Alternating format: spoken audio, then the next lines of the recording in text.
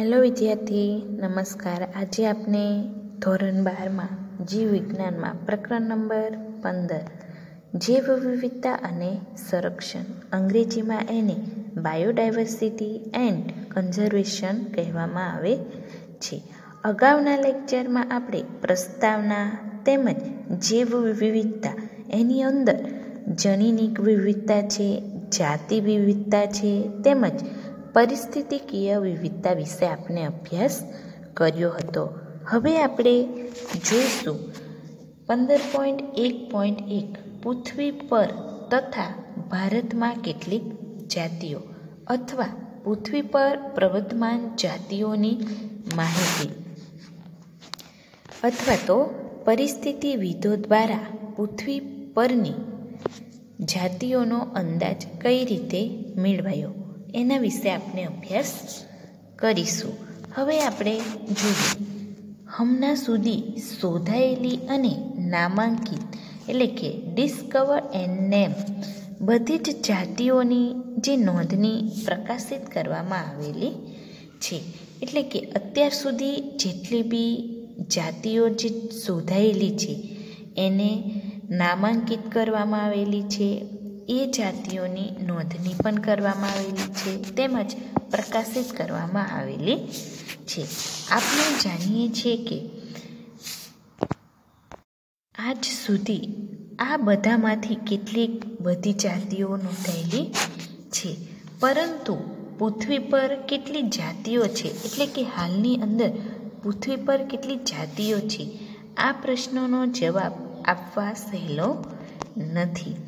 અને આ you C N એટલે કે international union for conservation of nature and natural resource દ્વારા બે હજાર ચાર પ્રમાણે આજ સુધીની જે વર્ણન કરાયેલી વનસ્પતિ અને પ્રાણી જાતિઓની કુલ સંખ્યા એક પોઈન્ટ પાંચ મિલિયન કરતાં સહેજે વધારે છે.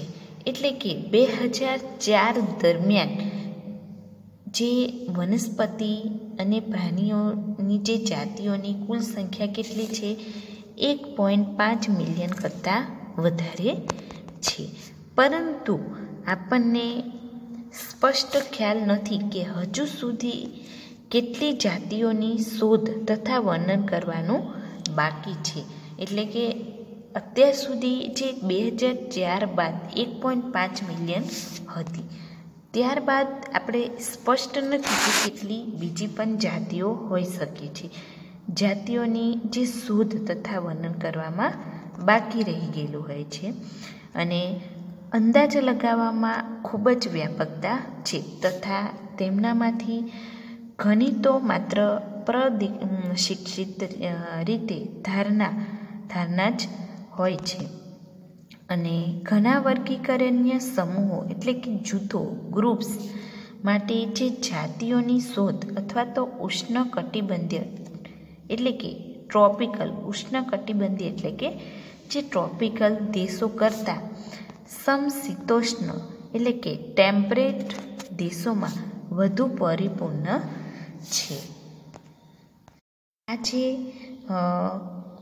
વર્ગીકરણીય સમૂહો માટે જાતિઓની શોધ એટલે કે ઉષ્ણકટિબંધીય જે દેશો હોય છે, એટલે કે ટ્રોપિકલ કરતાં સમશીતોષ્ણ ટેમ્પરેટ દેશોમાં વધુ પરિપૂર્ણ છે. અને ધ્યાનમાં લેવાયું કે ઉષ્ણકટિબંધીમાં જે નોંધપાત્ર રીતે એટલે કે મોટા પ્રમાણમાં જાતિઓની શોધ બાકી છે. એટલે કે આ જે ઉષ્ણકટિબંધમાં નોંધપાત્ર રીતે મોટા પ્રમાણમાં જાતિઓની શોધ છે તે એ બાકી રહી ગયેલી છે.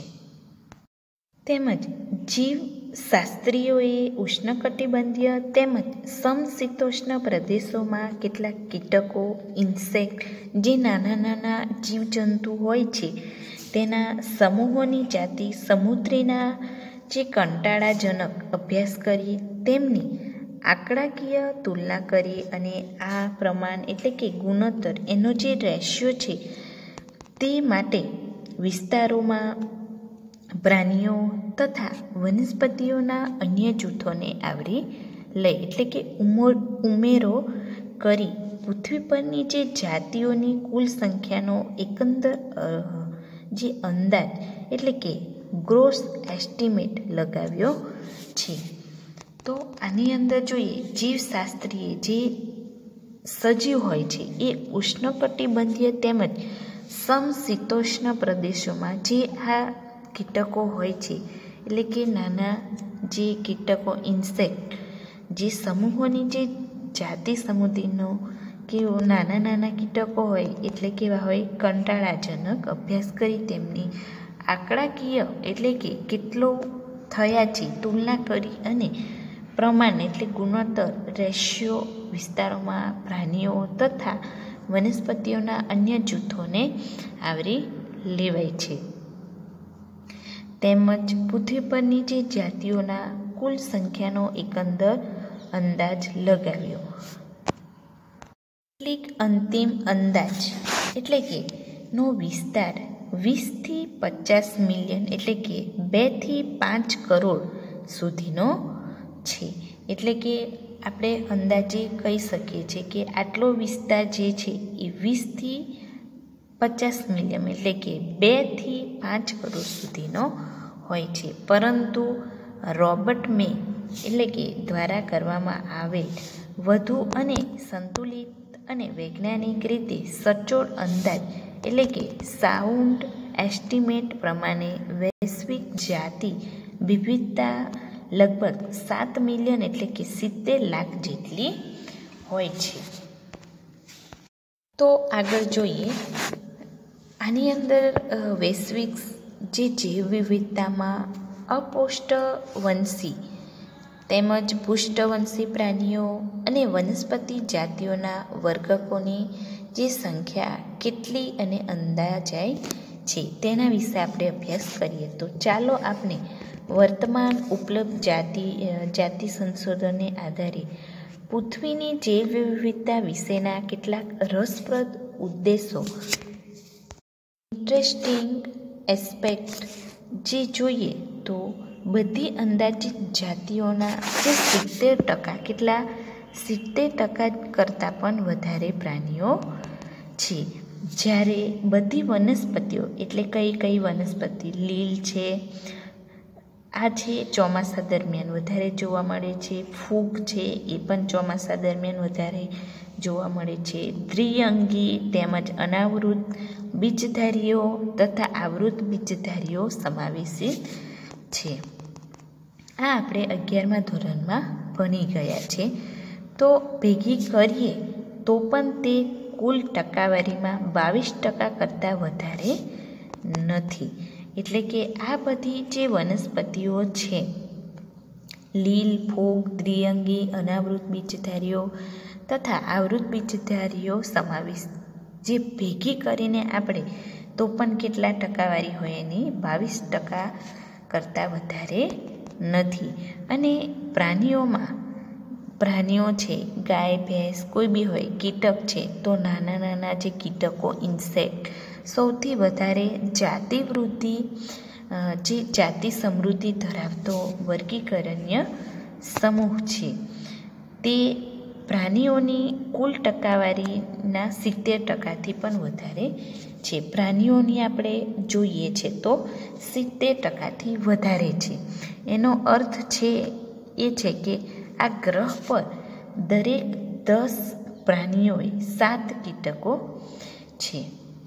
એટલે દસ દસ જે પ્રાણીઓની વચ્ચે સાત કીટકો છે, ફરીથી કીટકોના આ વિપુલ વૈવિધ્યને આપણે કેવી રીતે સમજાવીએ?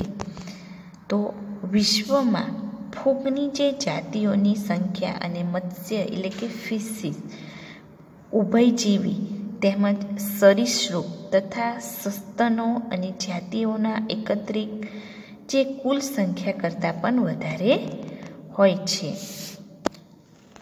આપણે આકૃતિ જોઈએ. પંદર પોઈન્ટ એક, કેટલાક મુખ્ય વર્ગકોની જાતિ સંખ્યા દર્શાવતું જૈવ વિવિધતાનું ચિત્ર કરવામાં આવ્યું છે. વૈશ્વિક જૈવ વિવિધતામાં અપુષ્ટવંશીઓ તેમજ પુષ્ટવંશીઓ તેમજ જોઈએ તો વનસ્પતિઓ જાતિઓના વર્ગકોની સંખ્યા કેટલી અંદાજાય છે? તો અપુષ્ટવંશીઓ છે. અન્ય પ્રાણીઓનો સમૂહ જોવા મળે છે. આ જે છે, અન્ય જે પ્રાણી સમૂહો છે તે જોવા મળે છે. તેમજ સ્તર કવચીઓ એટલે આ જે છે એ સ્તર કવચી જોવા મળે છે. મૃદુકાયો, આ જે છે, મૃદુકાયો છે. તેમજ આ બધા કીટકો જોવા મળે છે. આ છે અહીંયા કીટકો. તેમજ અપુષ્ટવંશીઓ છે. તો તેની અંદર આ એક ભાગમાં માછલીઓ જોવા મળે છે. તેમજ અહીંયા સસ્તનો અહીંયા પક્ષીઓ, ત્યારબાદ સરીસૃપો અને ઉભયજીવીઓ જોવા મળે છે. જોઈએ તો વનસ્પતિ, મોસ આ જે છે, દ્વિઅંગીઓ. અને ફૂગ જોવા મળે, અહીંયા લીલ જોવા મળે લાઇકેન્સ છે અને તેમજ ત્રિઅંગી અને સહ વનસ્પતિઓ. આ બધી જે જોઈએ તો ત્રિઅંગી અને સહ વનસ્પતિઓ, આવૃત બીજધારીઓ વગેરે જોવા મળે છે. એમાંથી પણ એમસીક્યુ પૂછી શકે છે. અપુષ્ટિ વનસ્પતિઓ કઈ કઈ આવી શકે છે? પુષ્ટવંશીઓ છે તો એની અંદર કઈ કઈ આવી શકે છે? વનસ્પતિ છે તો વનસ્પતિઓમાં કઈ કઈ વનસ્પતિ આવી શકે છે? તો આ હતું વૈશ્વિક જીવ વિવિધતાનું પ્રતિનિધિત્વ એટલે કે પુષ્ટવંશ અપુષ્ટવંશી પુષ્ટવંશી એમ તેમજ વનસ્પતિઓ. હવે અગાઉ જોઈએ આપણે એ વાત નોંધવી જોઈએ કે અંદાજિત આદિકોષ કેન્દ્રીય જે સજીવો, એટલે કે પ્રોકાયોટિક ઓર્ગેનિઝમ્સ માટેની કોઈ સંખ્યા આપતો નથી. તેમજ જીવશાસ્ત્રીઓએ એ ચોક્કસ ખાતરી નથી કે આદિકોષ કેન્દ્રીય જે જાતિઓની સંખ્યા કેટલી હોઈ શકે છે. એટલે કે જીવશાસ્ત્રમાં કહેવામાં આવેલું છે કે ચોક્કસ ખાતરી નથી કે આદિકોષ કેન્દ્રીય જાતિઓની સંખ્યા કેટલી હોઈ શકે. સમસ્યા એ છે કે પરંપરાગત એટલે કે કન્વેન્શનલ વર્ગીકરણની રીતો સૂક્ષ્મજીવોને ઓળખવા માટે યોગ્ય કે ઉચિત નથી.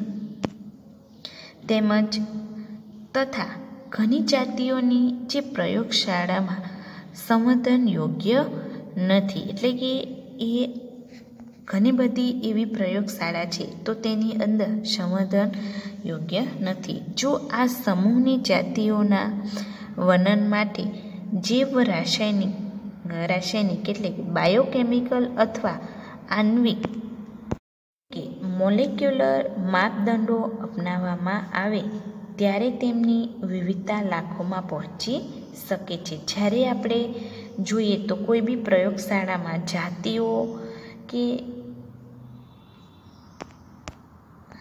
સમૂહો વિશે આપણે અભ્યાસ કરીએ, તેમજ જીવરાસાયણિક, બાયોકેમિકલ અથવા આણ્વિક, મોલેક્યુલર એનો માપદંડ કરી શકીએ, તો તે લાખો સુધી પહોંચી શકે છે.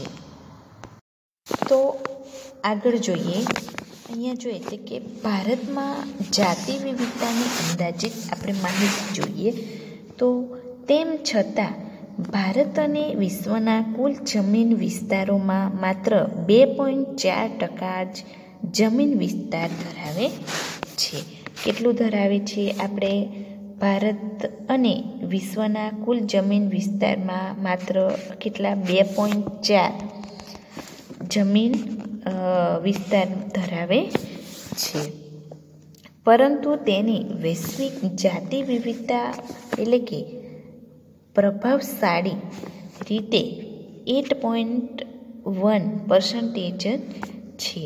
અને આ જ કારણ છે કે ભારત પર જે વિશ્વના કેટલા બાર બાર મોટી વિવિધતા ધરાવતા જે દેશો પૈકી એક છે.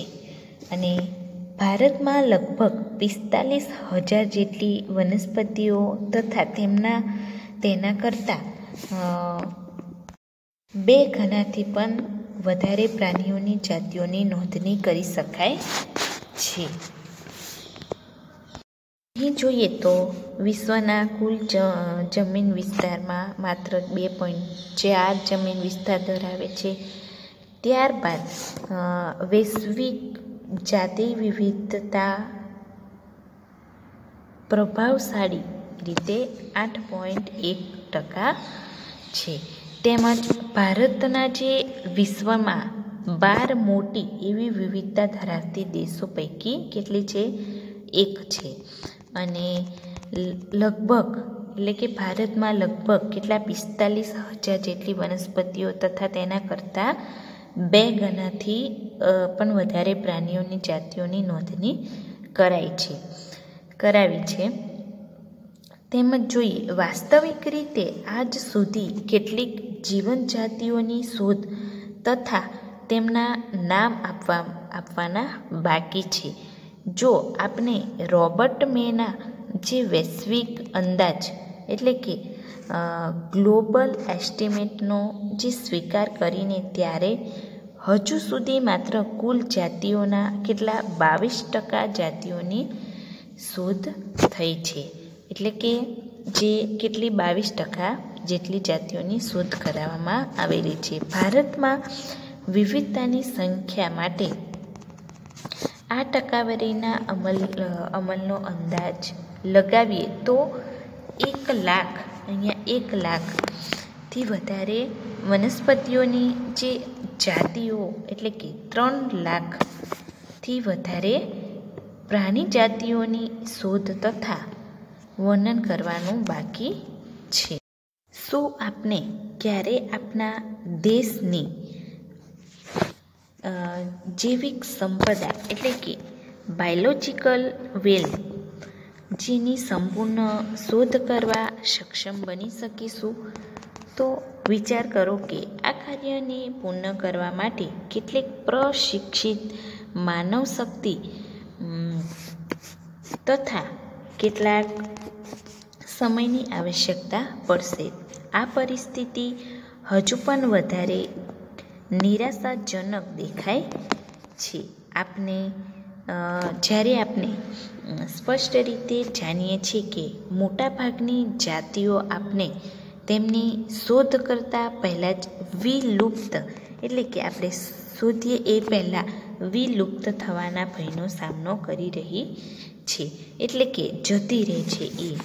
અને અથવા તો મળી ના શકે કાં તો જીવિત ના હોઈ શકે. પ્રકૃતિના જીવિક પુસ્તકાલયમાં સંગૃહિત બધા જ પુસ્તકોના શીર્ષકોને આપના જે દ્વારા સૂચિબંધ કરતાં પહેલાં જ તેમનો અગ્નિદેહ, અગ્નિદાહ થઈ રહ્યો છે. તો આ હતો પૃથ્વી પર થતા ભારતમાં કેટલીક જાતિઓ. તો આજે આજનો લેક્ચર આપણે અહીં પૂર્ણ કરીશું. ધન્યવાદ.